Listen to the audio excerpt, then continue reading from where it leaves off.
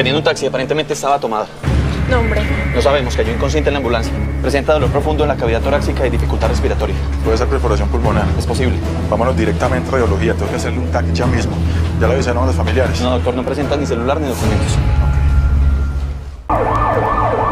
Enfermera, necesito ingresarlo inmediatamente. Por favor, haga el papeleo con el seguro del conductor. Sí, señor, permiso. ¿Algún otro herido en el accidente? No, doctor. El conductor del taxi estaba muerto cuando llegamos. El otro carro se voló.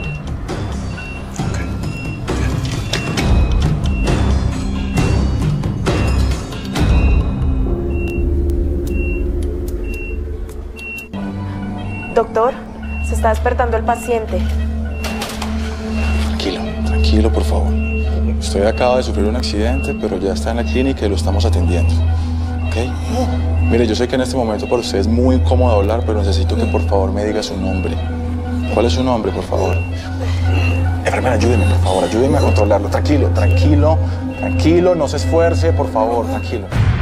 Enfermera, vaya rápido y prepáreme una dosis para inyectar al paciente. Bueno, pero rápido, Rosita, rápido.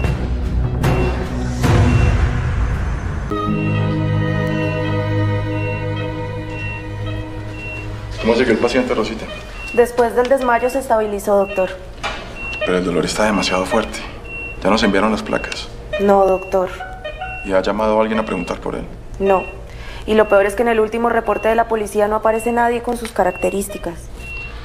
Bueno, más bien vaya y apure a los de radiología, sí. Bueno, Yo la espero acá.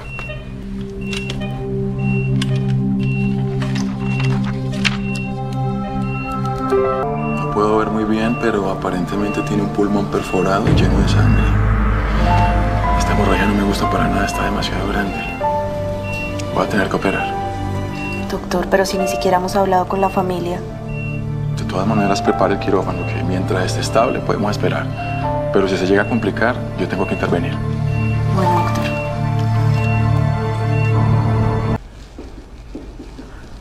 No contesta, lo llamo más tarde ya. Mi amor, por favor, llámalo a la casa. Yo necesito saber si estamos firmes, a ver si hacemos esta comida o no, mi amor. Está bien.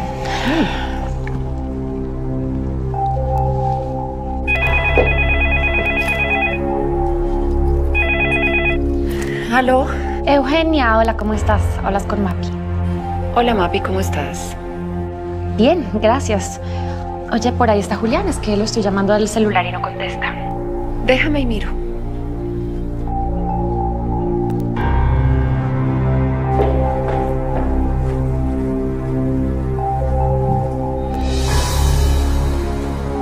Mapi, Juli yo creo que ya debe estar en la oficina. ¿Tú lo has llamado allá? O hagamos una cosa, cuando yo llegue le digo que te llame. Vale, perfecto. Ay, que no se te olvide, ¿sí? Gracias.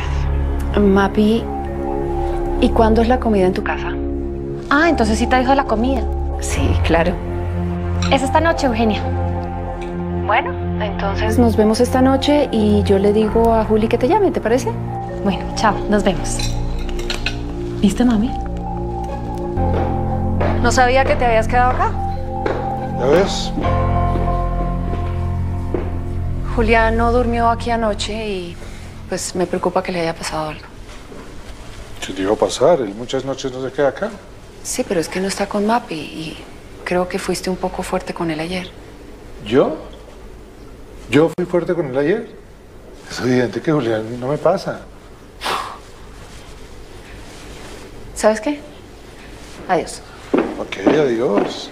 Si aparece Julián, ¿podrías avisarme, por favor?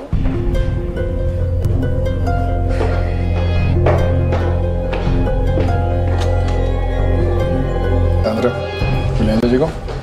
No, señor, no ha llegado. Es más, la señorita Mapi lo está llamando y el celular está apagado. Eugenio, Tampoco, señor.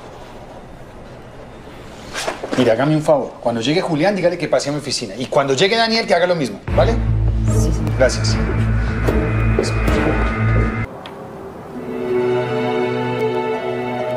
Julián, es tu papá. Mira, en serio ya estoy preocupado. Yo te ruego el favor de que apenas escuches este mensaje te comuniques. Es urgente. Chao.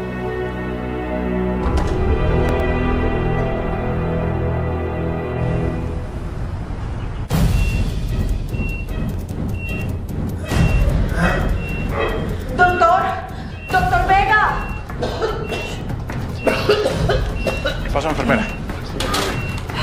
Vamos al quirófano ya mismo. O abro a este hombre inmediatamente o se nos desangra. Bueno, doctor. Tranquilo. Por favor.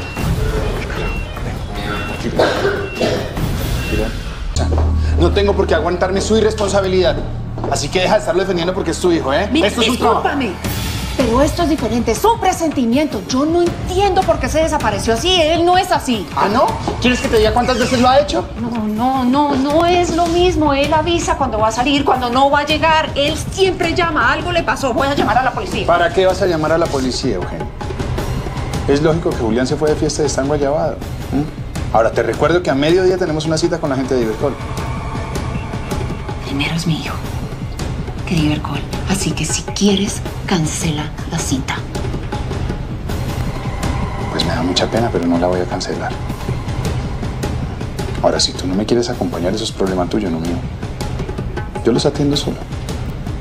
Pero si Julián viene y no me da una buena explicación por qué no vino a trabajar, se va de la agencia. ¿m?